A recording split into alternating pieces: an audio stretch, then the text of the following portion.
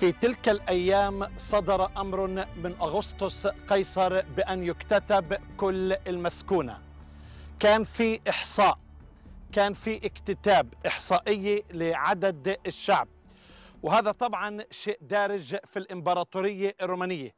واحدة من الإنجازات العظيمة اللي تكلم عنها أغسطس إنه في مدة حكمه في حياته إنه أمر بالإحصاء ثلاث مرات وهو على قيد الحياة. لكن هذا الإحصاء ليس بسيط. هي عملية شاقة وعملية مهمة للغاية.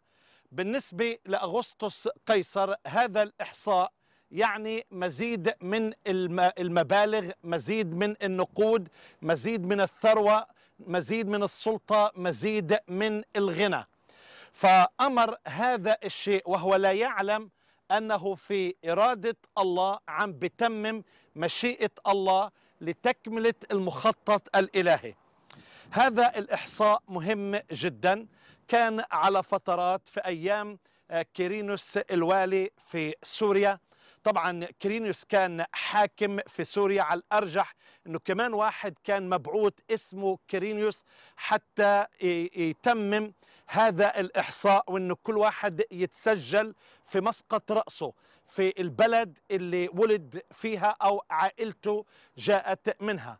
طبعا بالنسبة ليوسف النجار وبالنسبة لمريم العذراء كان لازم يرجعوا إلى بيت لحم لأنهم من بيت أو من عشيرة داود. فهذه الرحلة طبعا ليست بسيطة.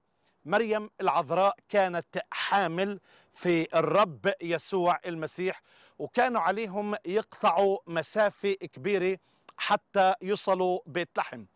في تلك الأيام كانت محكومة من الرومان والرومان طبعا بنوا طرق كثيرة. واحد من الطرق في هذه البلاد فيا مارس اللي كانت تربط طبعا أرض ما بين النهرين إلى مصر. من هذا الطريق الكبير كان في طرق كثيرة متفرعة حتى توصل إلى أماكن كثيرة. وطبعا حسب الموسم وحسب الطقس إذا كان الطقس بارد فعادة بيسافروا من غور الأردن.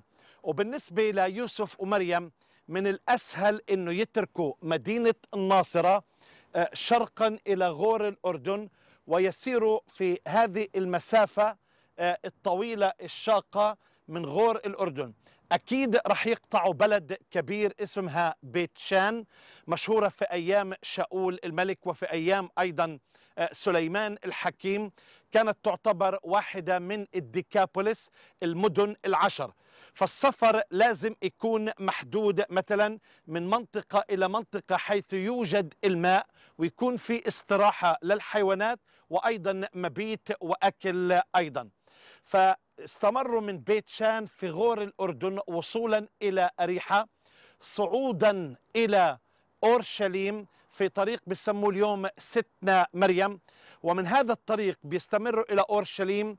من أورشليم بيكملوا جنوب إلى بيت لحم حيث تمت النبوة أن المسيح يولد في بيت لحم. لكن هذه الطرق كانت كثيرة. وفي مخاطر في الطريق. فكانوا يسافرون جماعات جماعات وعائلات عائلات طبعا يوسف ومريم. وأكيد كان معهم دواب حتى يحملوا أغراضهم على الحيوانات. لكن إحنا بنعرف إن يوسف ومريم كانوا فقراء وبسطاء جدا. والمسافة ممكن لشخص قوي تاخذ أربعة أيام. لأنه مريم حامل ممكن تكون المسافة لبيت لحم مسافة أسبوع على الأقل إذا كان في استراحات على الطريق.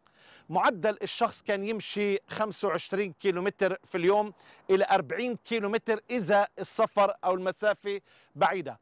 فإذا صاروا 25 كيلو هذا معناته أربع لخمس أيام.